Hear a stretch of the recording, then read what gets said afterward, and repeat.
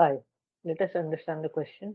We are given a copper metal and it is added to 1 mole of Ag.